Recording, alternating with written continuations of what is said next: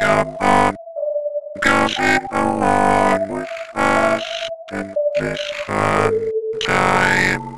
Hello, would you like to have some fun with us right now? Come